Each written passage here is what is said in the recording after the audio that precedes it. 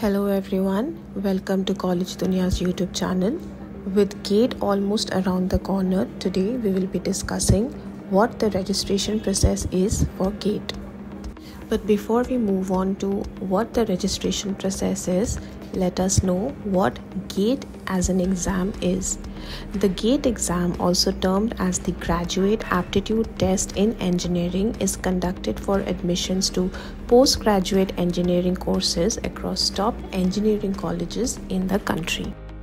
The application process for GATE is basically divided into four major divisions. Number one is registration, number two, logging in, number three, filling out the application form, and finally, fee payment. In the first step, that is the registration process, you will be required to visit the official website that is gate.iitr.ac.in. Once you are there in the website, go to the application tab and click on apply online. A page will open and then you have to register. So in registration process you will be required to enter your name email mobile number and create a password to receive your GOAPS enrollment ID and password the second step include logging in into the GOAP application portal with your enrollment ID and password.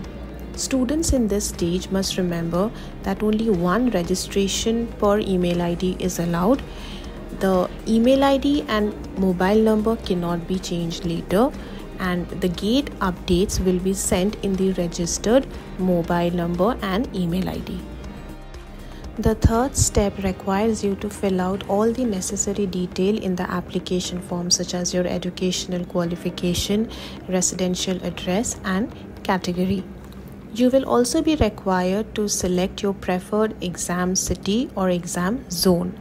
Finally, you will be required to upload a scanned copy of the required documents including a photograph, signature, educational certificates, category certificates and others. The last and the final step is the fee payment. Women candidates for GATE within a normal fee will be charged rupees 900 while a late fee will be charged 1400 the SC ST PWD candidates with a normal fee will be charged 900 while a late fee will be charged 1400 and all other candidates will be charged 1400 as a normal fee and 2300 as a late fee now that you're aware of the entire registration process for GATE, let us now discuss what all documents will be required during the GATE application or registration process. So, some of the major crucial documents that will be required for GATE application include a personal detail that will have your name, date of birth, personal mobile number, parents' name, and their mobile number. Number two, address for communication, including your PIN code.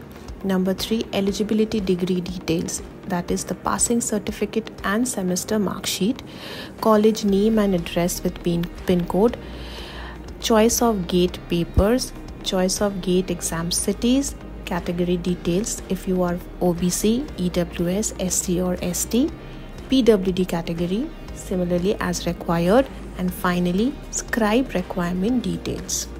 That's all for today.